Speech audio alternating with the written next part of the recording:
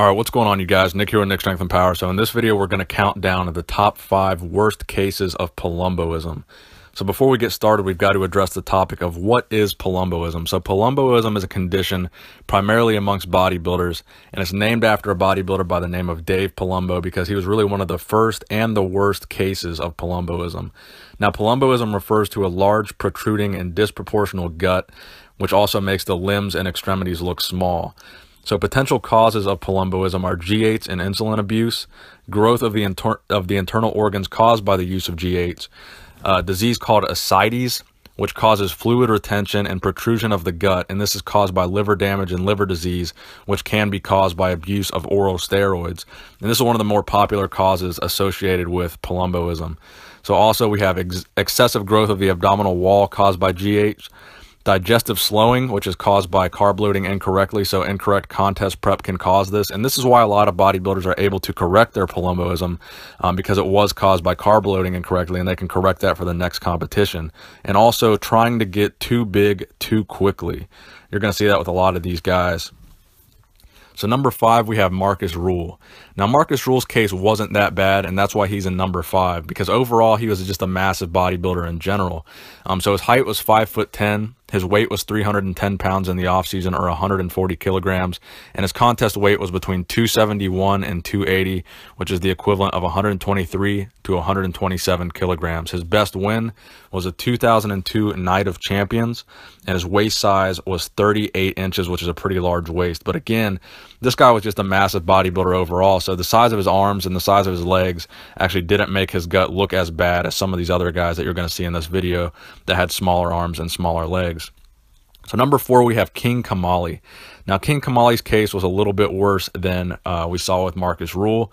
Now, King Kamali was five foot ten. His contest weight was between 225 and 255, um, and he was 102 to 115 kilograms in contest season. His off-season weight was 310 pounds or 140 kilograms and his best win was the 1999 NPC Nationals heavyweight division. So again, another guy that was 300 plus pounds in the offseason. So let's keep that in mind. This is this is a common theme that you're going to see with a lot of these guys is the fact that they maintained over 300 pounds in the offseason. So number three, we have Greg Kovacs. Now Greg Kovacs is probably one of the most famous of these bodybuilders. He is six foot four.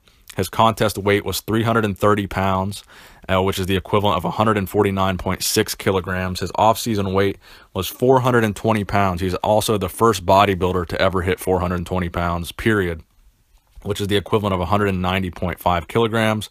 His best win was the 1996 Canadian National Champions Championships, and his death was in 2013.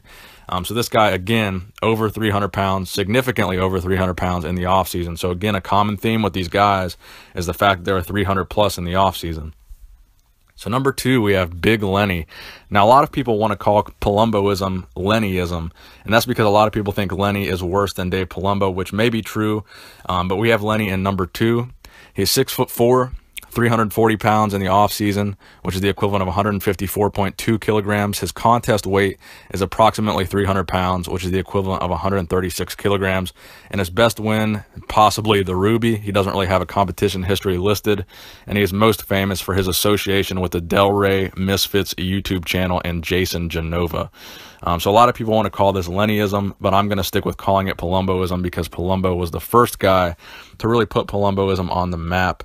And that is why when we get to number one, we are going to have Dave Palumbo in that number one slot.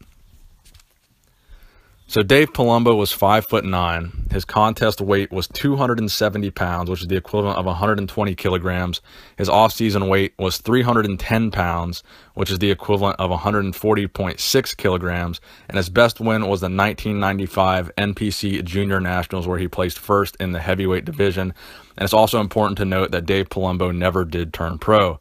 So again, the condition is named after Dave Palumbo because he can, he was really the first case of it that was really noticed. Um, Um, so we're going to put him in number one because the condition is actually named after this guy. So, so fittingly, he's going to be number one.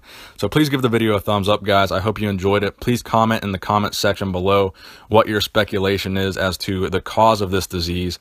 Please give the video a thumbs up. Like I said before, Nick Strength and Power signing out.